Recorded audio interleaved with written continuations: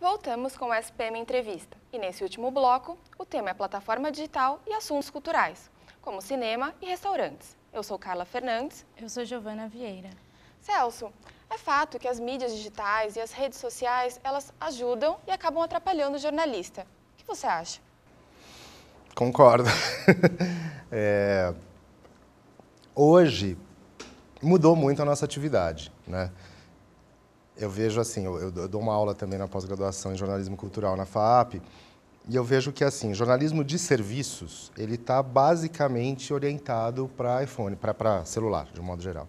Você não precisa de uma revista para programar o que você vai fazer, o seu lazer. Você precisa que a informação esteja no bolso, no momento em que você necessita dela.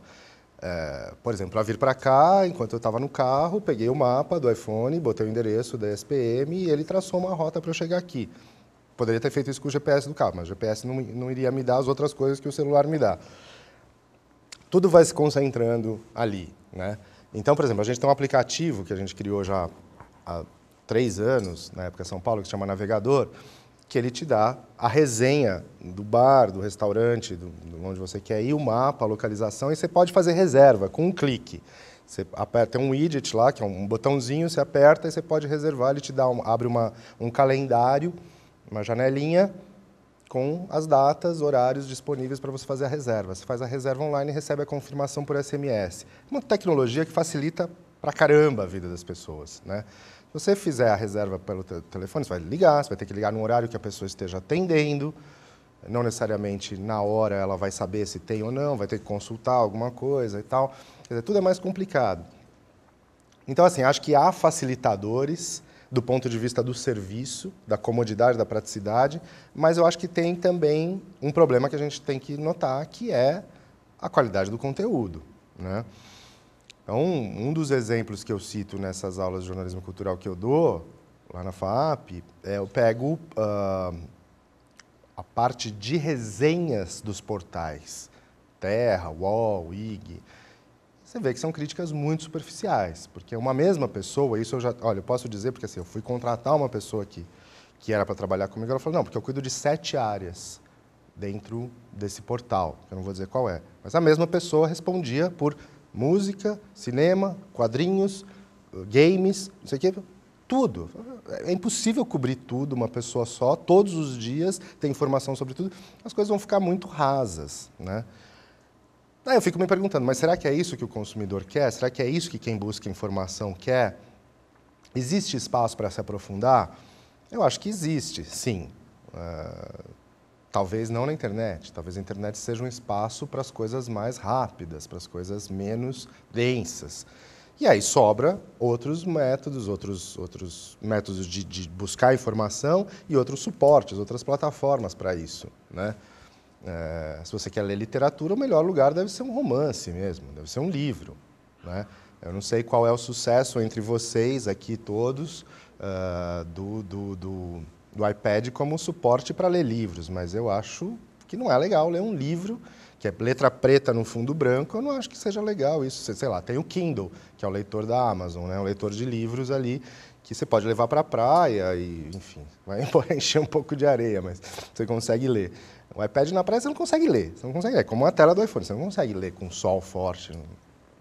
Bom, estou falando isso porque eu acho que cada plataforma tem a sua especificidade. Outro dia assisti uma, uma palestra de um sujeito que trabalha na Globo e ele estava falando assim, olha, a gente acha que furo né, jornalístico assim, tem que ir primeiro para o G1. O lugar onde vai dar o furo é o G1. Então, a primeira plataforma é o site. A segunda é a televisão.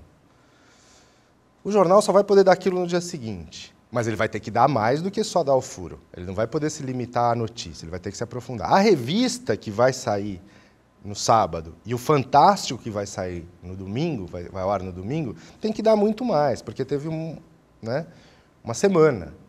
Ou talvez não uma semana, a coisa pode ter acontecido na sexta-feira. Cada uma tem um prazo, cada um tem um modo de preparo e cada uma tem uma receita. Então, para cada, cada plataforma, ela tem que seguir as suas especificidades. Eu acho que o conteúdo tem que seguir a forma, nesse caso. É, não é porque a, a, a, internet é assim que a gente é assim é rápida e tal que a gente tem que fazer mau jornalismo na internet. O problema é que é a acomodação. As pessoas acham que, por exemplo, se eu publico qualquer coisa errada numa revista, eu vou ter que publicar uma errata na edição seguinte. Vai levar um mês para sair. Na internet, você publicou errado, você refaz, você manda de novo e já nem existe mais aquele erro. Tudo bem, alguém pode até ter dado um print screen, fotografado a tela e, e, e saber que o erro está lá. Mas as outras pessoas já nem vão ver o erro. Você já corrigiu o erro em seguida. Então, acho inadmissível que tenha tanto erro de informação, tanto erro de serviço, tanto erro na internet. E às vezes tem coisas que são plágio, que são repetidas em vários lugares. Eu me lembro de ter pego exemplos que eram release. O mesmo release foi, foi, foi replicado, foi reproduzido igualmente em vários lugares com o mesmo erro, um erro de grafia de um nome de uma pessoa. Então, assim, que as pessoas não estão nem lendo o que elas estão publicando. E eu acho isso péssimo. E isso, felizmente, ainda não contaminou o meio revista. Em revistas há um rigor um pouco maior. Mas eu acho sim que uh, essa facilidade de blogs, de produzir conteúdos online e tal, é, vai tirando um pouco da, da da nossa pertinácia, sabe? Assim, do que é você ser jornalista. Aí parece que qualquer um pode fazer, é só chegar lá, sentar, né? Eu acho que não é assim. Não é qualquer um que pode gravar um disco. Não é porque existe o um meio para você gravar um disco, que é ter um microfone, uma coisa de computador, que qualquer um sai gravando. Acho que é mais ou menos a mesma coisa. Não é qualquer um que pode fazer jornalismo, né? Acho que é mais ou menos isso. Assim. Não é qualquer um que pode subir num palco e interpretar uma peça. Você tem que ter um mínimo de preparo para fazer aquilo. Me incomoda um pouco, no caso do jornalismo de gastronomia, qualquer pessoa que comeu três pratos de comida sai fotografando o que comeu e acha que é crítico de gastronomia. Não é. Não é. As coisas não são assim. Celso, você foi editor executivo do Paralela, pioneiro como portal feminino. Uhum. Como foi participar de um projeto tão inovador e o que isso acrescentou na sua carreira? É, foi inovador até demais, né? Tanto que ele durou um pouco mais de um ano. A ideia do Paralelo era muito boa, como ideia, era reunir todo o conteúdo feminino de todas as publicações da Abril num único endereço. A Abril, como vocês sabem, não tem portal, é diferente uh, da Globo, né? Que hoje em dia, por exemplo, existe isso. As, as revistas da editora Globo e da Condé Nast, que é, chama GCN no Brasil, né? Que é Edições Globo uh, Condé Nast, que é a, a Glamour e a Vogue, elas estão reunidas todas num portal que chama Cinco Minutos, Meus Cinco Minutos. O Paralela foi isso há 10 anos, 11, 12 anos. Né? Eu acho que era um momento, o mercado ainda não estava preparado para um portal daquele tipo, tão focado, tão segmentado. Eu acho que a Abril também achou que ia ganhar dinheiro fácil com a internet. É, a experiência foi legal, era o seguinte, eu era crítico de música e de cinema da Veja. Quando eu vi que a internet estava despontando, bombando, né, como a gente fala, eu falei, é hora de mudar de meio. Eu não queria ir para outro lugar que não fosse a Veja, que é a maior revista do Brasil, e continuar escrevendo sobre música e cinema. E o que me ofereceram lá foi escrever sobre sexo, que era uma coisa que eu não sabia. Não sabia, não, não sabia fazer, né? não sabia escrever, nunca tinha escrito sobre isso. Aí, em três meses antes do portal ir para o ar, é, já me promoveu na editora executiva. Eu tinha começado lá como editor de, de, um canal chamado Sexo, e a diretora de redação, ela tinha sido muito clara. Ela falou assim, olha, eu acho legal porque você tem texto bom, você tem ideias de pauta criativas e tal, e você não tem os vícios de quem escreve sobre sexo para as revistas femininas, que é nova, né, as revistas da, da Abril, Cláudia e tal. E aí ela me convidou exatamente por isso, que ela queria dar uma dar um tratamento para o assunto sexo, mas de um nível mais legal, não só como chegar ao orgasmo em sete lições, sabe? Uma coisa. E aí é, eu achei ótimo, porque realmente eu levei para o lado da cultura. Eu falava muito de música, muito de cinema, muito de exposições nesse canal de sexo. Mas antes mesmo do portal estrear, eu já tinha virado editor executivo. Então a minha função era muito mais cuidar dos outros editores do que do. Aí já tinha uma pessoa para fazer isso que eu que aliás eu adoro, é que é minha amiga até hoje, que é diretora de redação da revista Tan nas Nuvens, que é a Cindy Will, que ela entrou para me substituir, a gente virou amigo e, é, enfim, somos amigos até hoje. Mas quando eu virei executivo, já tinha uma outra pessoa para fazer sexo lá. E aí a minha função passou a ser outra, que era mais cuidar do trabalho, como uma espécie de redator-chefe, assim, né, cuidando mais do trabalho dos, dos editores. E eu acho que assim, é, foi legal porque a gente vislumbrou no paralelo uma série de ferramentas específicas para a internet que nenhuma das publicações uh, da editora Abril tinha. Por exemplo, se você quer escolher um modelo de óculos, pela internet você conseguia fazer um monte de simulações. Então você ia, montava um rosto mais ou menos parecido com o formato do seu e ficava testando vários óculos escuros em cima daquilo, que é uma coisa que em revista você não consegue fazer. O que, que você vai fazer em revista? Vai pegar vários óculos, você faz uma foto em still e coloca o modelo, ou você bota uma modelo vestindo. Mas ela nunca vai ser você, e nunca vai ter os seus traços. Então, o que você pegava era uma, assim, uma, uma série de, de rostos já pré-determinados, escolhia o mais parecido com o seu, botava o cabelo parecido com o seu, com a cor parecida com o seu cabelo, e ia experimentando óculos. Esse tipo de coisa eu acho sensacional. Naquela época não existia. Então, a gente foi criando funcionalidades e ferramentas que, no meu entender, poderiam ter se transformado num grande negócio. Uh, mas, infelizmente, eu acho que o mercado para a internet ainda não justificava. Era uma redação muito grande, nós éramos 20 pessoas ganhando salários altos, né, porque a internet naquela época achava que o dinheiro vinha fácil, então pagava muito bem. É, e não, não, não se consolidou. Né? A, a empresa foi descontinuada, que chamava Idealize, que era o braço de internet da Abril. Acabou sendo comprada pela Portugal Telecom, e a gente foi reincorporado lá dentro. Eu fui, acabei indo para a revista Ana Maria. Antes disso, eu, eu, tive uma outra experiência na internet num portal que também não deu certo, que era um portal de música. Na época, todo mundo achava que música ia passar pela internet e tal. Ninguém tinha pensado num jeito de, de ganhar dinheiro com música na internet. Quem foi pensar nisso, engraçado, era um cara que não veio nem uh, do, do mercado de música, de disco, e nem do mercado de internet propriamente. Quer dizer, quem entendeu como ganhar dinheiro com música era um cara que trabalhava, era o dono da Apple, né? foi Steve Jobs. Né? Ele entendeu que o mercado de música passava por uma coisa que, que, ainda não existia na época, mas que hoje existe, que é a App Store, que é a única coisa que, o iTunes, né? É a única coisa que realmente funciona vendendo música e ganha dinheiro no mundo. Agora o jornalista Cléster Cavalcante tem uma pergunta para você. Vamos ver. Eu perguntaria para o Celso é, o que é que ele acha que falta no nosso jornalismo no Brasil para a gente investir mais em reportagens, como cobrir a guerra na Síria, cobrir a, a, crise na Coreia do Norte, por exemplo. Né? Eu sinto falta disso na, na imprensa brasileira. E foi esse motivo que também me levou a ir para a Síria. Né? Se tivesse é, algum veículo do Brasil cobrindo direito a guerra na Síria, fazendo uma coisa forte contundente, eu não teria motivo para ir para lá, porque já tinha alguém fazendo. Eu fui porque eu queria mostrar né, a guerra de verdade, ver as pessoas de verdade. Né? Bom, Cléster, é, jornalismo de guerra é um assunto que está nos primórdios. Eu, eu costumo usar nas minhas aulas lá na FAP, eu dou um, eu dou um texto, bom, que vocês aqui talvez já vão ter contato em algum momento, que é um trecho do Os Sertões, do Euclides da Cunha, que foi correspondente de guerra do jornal Estado de São Paulo. Assim, desde o primeiro né, primeiro grande relato que se tem eh, na história, não vou dizer nem do jornalismo, mas na história da cultura, que é uh, a Odisseia, que narra a Guerra de Troia, ou supostamente teria sido a Guerra de Troia, eu acho que assim, o jornalismo, a cobertura de guerra, ela tem muito a ver com o espírito da profissão, de repórter, que é você estar tá no lugar em primeira pessoa, observando os fatos e tal. Na era que a gente vive, as guerras se transformaram num quase que uma commodity de notícia. Né? Assim, é preciso noticiar, é preciso estar tá lá, o mundo quer saber. A CNN cresceu demais em função da Primeira Guerra do Golfo, nos anos 90. Acho que uh, há um interesse sobre isso. O problema é como isso é feito. Eu acho que a melhor cobertura possível de guerra é quase que online é, mostrando a coisa acontecendo. É isso que deixa.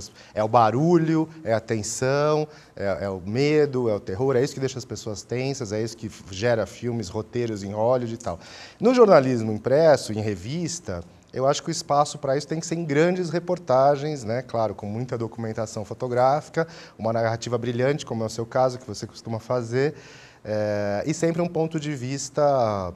Uh, inusitado, um ponto de vista que não seja o que todo mundo já mostrou em outros lugares.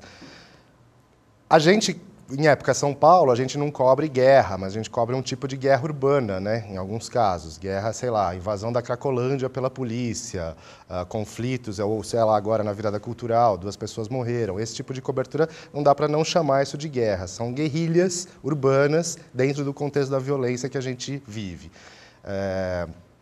O espaço que a gente dá para isso é relativamente pequeno, porque, eh, sendo uma revista mensal, a gente não, não tem muito como uh, ficar voltando ao que já foi explorado em outros veículos.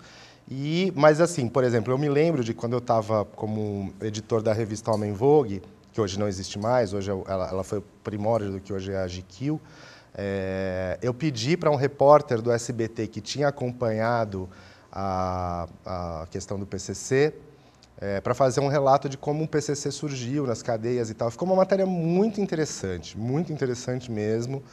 É, ele chama Fábio Diamante, esse repórter, ele, ele, já tinha trabalhado no Estadão, então ele também tinha boa vocação assim para o texto, tinha uma pena boa, né, uma escrita boa. E, e ficou uma matéria muito gostosa de ler, até hoje acho que foi um, foi um acerto. É, foi muito tempo depois dos ataques do PCC em São Paulo, mas foi legal que deu para consolidar, deu para contar como o PCC nasceu e como aqueles ataques foram planejados. Quando eu assisti o filme Salve Geral, é, é engraçado porque parece tudo aquilo já estava na minha cabeça, embora na ocasião em que os ataques aconteceram eu nem eu nem estava cobrindo nada disso, eu não estava trabalhando nessa área, a gente até trabalhava vizinho. Acho que na época você estava na Contigo, eu estava na revista Ana Maria, se não me engano. Mas, enfim, eu acho que a, a cobertura de guerra ela ensina muito para o repórter. Você tem que se virar, você tem que primeiro sobreviver. E você tem que se virar, você tem que trazer coisas que outras pessoas talvez não saibam. Você tem que fazer contatos lá na hora, você tem que eu recomendo que, assim, quem realmente quer ser repórter, quer se virar uh, na vida, passe por uma experiência assim. Não, claro, você não precisa ir cobrir um conflito e ficar se dedicando, mas assim, que, que, que, que vá a campo, né? Para pegar uma coisa espinhosa, delicada e que conte com a sorte também, porque uma bala pode te pegar. Eu acho que assim, quem cobriu muito do Rio. Na época da invasão do Morro do Alemão, eu já estava na revista Época e a gente deu muito espaço para aquilo. É, eu ficava morrendo de medo das pessoas que estavam no front ali, né, de bala perdida, desse tipo de coisa que a gente sabe que acontece. Mas, no entanto, para todo mundo que trabalhou na, naquela cobertura, repórteres e, e fotógrafos, é, foi um crescimento incrível. Assim, a maturidade do texto, as pessoas, depois daquele episódio, elas sentavam para escrever uma matéria, ela era outra pessoa, ela tinha passado por uma transformação. E aí depois, na hora de cobrir outra coisa, sei lá, a tragédia da Serra Fluminense, né, aquelas mortes todas por causa das chuvas e tal, a pessoa já chega com outra, com outra pegada, já chega com outra cara, com outro ar, é, talvez um pouco mais maduro também. Mas, enfim, eu acho que é uma escolha para poucos, né? É, pouca gente tem talento para fazer isso direito e espaço realmente é pequeno. Né? Espaço na mídia como um todo é pequeno. Televisão, internet e tal tem mais do que no impresso, evidentemente. Acho que é isso aí. Celso, e no jornalismo cultural, qual é a sua maior paixão? É o cinema, a música, os restaurantes? Olha, a maior eu acho que é o cinema. Embora eu tenha me dedicado muito à música, né? fui crítico de música há muito tempo, estudei música, toco, tive banda, me apresentei muitas vezes e tal. Cinema, fui estudar cinema, né? Eu me dediquei a fazer uma graduação de cinema. É, e realmente me apaixona mais, assim. Eu não tenho escrito muito sobre cinema, já faz um bom tempo até que eu não tenho uh, ido ao cinema com olhos de crítico, né? Eu vou ao cinema como como espectador. E o cinema é incrível, né? Porque ele mudou muito. Né? Claro, a música, o jeito de ouvir música também mudou. Eu passei pela transformação do LP para o CD, depois para MP3 e agora a volta do LP, do vinil, que está na moda, que todo mundo fala que o som é melhor, não sei o que e tal. Mas aí são coisas de audiófilo, são questões um pouco. Mas o que eu acho interessante é que assim, o cinema, quando eu me formei, tinha acabado o cinema brasileiro. No ano em que eu me formei, em 91, foram lançados dois longas-metragens no Brasil, sendo um deles da Xuxa. Então você imagina o pé de miséria que a coisa estava. Hoje em dia, são lançados no mínimo 20 longas-metragens brasileiros e todos com excelente audiência. Né? Sem contar lá fora, que também teve aquela greve dos roteiristas que afetou um pouco a indústria de Hollywood e tal, mas assim, o cinema está com tudo. As salas são incríveis. As salas, no meu tempo, eram fora de foco, a projeção horrível, ar-condicionado quebrado, um alto-falantezinho atrás da tela que você mal ouvia o áudio. Hoje em dia, pô, o som é incrível. Você vai numa sala IMAX ou 3D, você não quer sair de lá porque a experiência é fantástica. O que eu acho é que faltam bons filmes. Esse é o problema. E o cinema é uma experiência sempre boa. Mas eu fico pensando assim, pô, o Allen daqui a pouco vai morrer, quer dizer, porque, né, bem, tem um monte de diretor novo aí e tal, mas não que ele seja o meu favorito, tá? Mas assim, meu favorito atualmente é o Christopher Nolan, que eu adoro todos os filmes dele. Acho que A Origem, não sei quem viu aqui, mas quem não viu, eu recomendo profundamente. Acho que esse filme tem que ser visto, revisto várias vezes. Acho um filme incrível. Mas, enfim, ele também dirigiu O Cavaleiro das Trevas, né, que foi o Batman, eu acho mais legal, aquele que o Coringa era o, Heath Ledger. Bom, uh, o que eu acho assim, faltam bons filmes. É, a mim incomoda o fato de esse Homem de Ferro ter gerado já um bilhão de dólares de bilheteria. Isso significa que as pessoas vão ao cinema para ver um filme só. Quem, vai ao, quem nunca vai ao cinema vai ver um filme de super-herói. Uh, cadê outros filmes? Quer dizer, seria muito legal se por exemplo, eu me lembro que quando eu fui ver as aventuras de Pi, eu falei, eu queria ver esses mesmos efeitos especiais, mas com uma história boa. Porque eu gostei muito do visual do filme, mas achei a história super simplória, assim, uma história é, aliás, o filme como um todo não me convenceu, assim, não, não gostei tanto. Mas é, tem os meus favoritos ali e tal. Na época do Oscar, é sempre né, fica aquela coisa de Twitter e tal, não sei o quê. Eu acho que é, o Django, o último filme do Tarantino, eu adorei. Tem alguns diretores que eu acompanho sempre e tal, e vejo. É, houve muita polêmica, assim, o melhor James Bond, não sei, eu não acho que esse Skyfall seja tudo isso, mas gostei do filme também. Mas acho que a experiência de ir no cinema é sempre boa. É muito raro ir num, num, filme, assistir um filme e falar, ah, não, putz, não valeu a pena, perdi meu tempo aqui e tal. Eu gostaria de ver mais filmes bons. Eu não sei se na época que eu estava estudando, meu interesse era totalmente, eu era né, mais novo, tinha mais, mas eu ia tanto ao cinema, eu ia tanto no cineclube, eu via tanta coisa, tudo me encantava. E hoje em dia, nos shoppings realmente só passa uh, Transformers, coisas assim, sabe? Né? É muito limitador, eu acho. E quando aparece um filme bom, fica pouquíssimo tempo em cartaz. Eu vou contar para vocês que eu não, não consegui ver Lincoln. E olha que eu vou bastante ao cinema. Eu cheguei no cinema perto da minha casa, né, que a professora Magali mora muito perto de onde eu moro também, já tinha saído de cartaz, tinha ficado uma semana em cartaz. Como o filme não ganhou vários Oscars, não sei o que, então já cortaram para botar outra coisa no lugar. Eu acho que os exibidores aí têm um problema uh, de depender muito da bilheteria. Então, você faz um investimento muito grande na sala, esse áudio incrível, projeção incrível, mas se a sala ficar vazia, não se paga. Então, sabe, o filme sai de cartaz muito cedo. Então, não consegui ver Lincoln, por exemplo. Um filme que poderia ser um sucesso, mas como não, ele foi lançado bem na época do Oscar, não ganhou Oscar, então já saiu. Mas é um filme do Spielberg, né? com um dos melhores atores da atualidade. Eu acho incrível que esse filme tenha ficado tão pouco tempo em cartaz. vou ver em DVD em algum momento, em Blu-ray agora. Né? Mas assim, é, eu prefiro escrever sobre música, embora eu goste muito mais de cinema. E eu vou contar por quê. É... Filme, todo mundo existe uma história. Filme tem um começo, né? Todo mundo prevê que você vá contar a história. E contar uma história é, é o pior que a crítica pode fazer. Assim, você não está lá para contar, ah, o filme fala sobre isso, isso, isso, que é aquele resuminho que você pega na TV a cabo, né? É, não é isso. Você tem que falar de outras coisas, da fotografia, da, da, da direção de arte, do elenco, do próprio diretor, é, enfim. Tem, tem, outras coisas para serem ditas. E as pessoas não têm paciência de lerem críticas muito longas. Música não tem uma história para você contar. É muito mais impressionista a crítica. E eu acho que dá para ter mais liberdade, até literária, sabe, de escrever. Um dos últimos textos que eu gostei mesmo, assim, de ter escrito foi uma foi quando saíram uh, não o último, mas o penúltimo disco da, da Marisa Monte, que ela lançou dois discos juntos, né?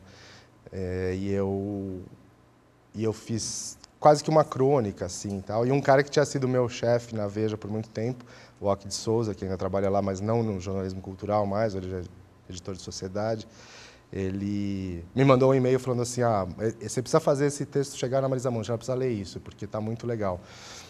É, eu acho que quando você escreve sobre música, como você não tem esse compromisso de contar qual que é a história, você pode viajar muito mais e fazer uma coisa muito mais criativa e às vezes até de um disco que não seja de um disco ou de um show que não seja tão bom, você pode fazer um bom texto. Né? No cinema pode, claro, de um filme ruim você pode fazer uma boa matéria, mas eu acho eu acho mais complexo assim, eu acho são, duas, duas, são atividades de natureza muito diferentes, a crítica de cinema e a crítica de música. É, embora muita gente faça os dois, como é o meu caso.